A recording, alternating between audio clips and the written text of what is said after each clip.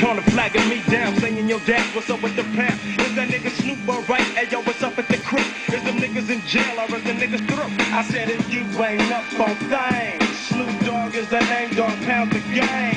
It's like this, they don't understand. It's an everyday thing to gang bang. Make that switch, don't be a bitch, let these niggas know. What's up with you? I represent the pound and death row. And can't no other motherfucker in LA alone beat your Compton and watch EDOG.